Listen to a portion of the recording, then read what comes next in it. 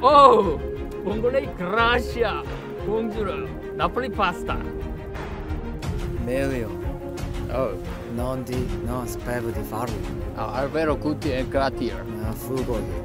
Oh, Guti era e Villano. Allora, Amigo, sì, vai. Buco in man. Oh, 아니 그렇게 따지면은 후, 답답한 중간식. sì, sì. 아이고, 감사, 감사.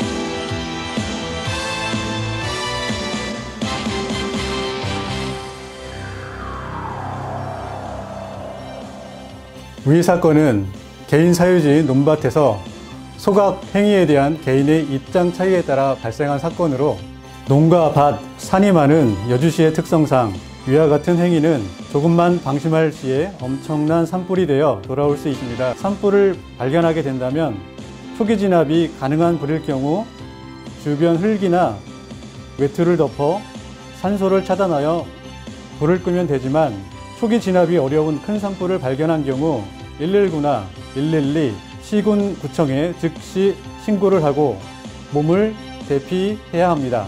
만약 산불이 확산되어 주민 대피령이 발생한다면 공무원의 안내에 따라 대피하여야 합니다.